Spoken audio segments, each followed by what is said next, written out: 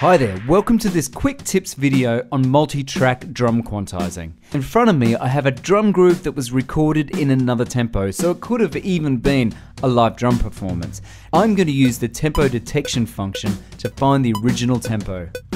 I can do this by clicking on the kick drum track and then going up to the project menu and selecting tempo detection. Then select the analyze button. Now Cubase will quickly analyze that and give me a tempo track and a time signature track.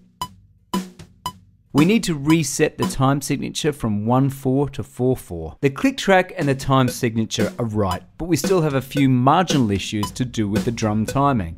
So let's start prepping our track for the audio quantize. Let's start by moving the tempo track up above the kick drum track so all our tracks are clustered together. Open the sample editor by double clicking on the kick drum part and then go to the hit points tab on the left hand side and start moving the threshold slider. What we want to do is ensure that we have a vertical line, which is a hit point, on each of our kick drum hits. Now they're sitting directly on each of our kick drum hits. Let's move over to the snare track and repeat the process to make sure that all of our snare hits are highlighted. Normally in a track, the hi-hats would give the greatest amount of time detail, but there's no hi-hats in this track, but I have noticed there's a floor tom, So I'm going to go and repeat this process using the threshold slider to make sure I've captured all of my floor tom parts.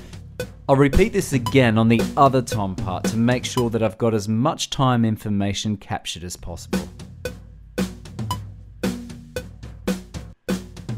The next step is to move all of our tracks into a folder. So we select them, right mouse click, and select Move Selected Tracks to New Folder.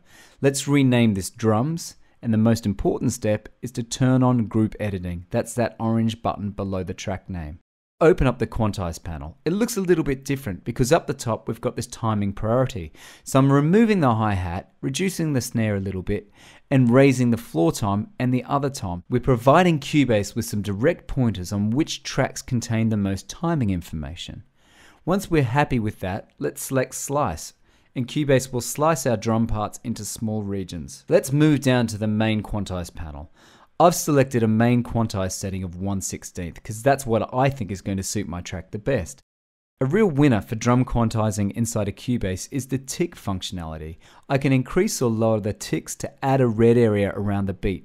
Now this red area is the area that Cubase is going to leave alone with quantizing, so it's only going to quantize what's outside the tick area, which gives us more of a human feel and it means that we've got more of a groove in our drum quantizing. Lastly, use the crossfade function to ensure your regions crossfade into each other seamlessly.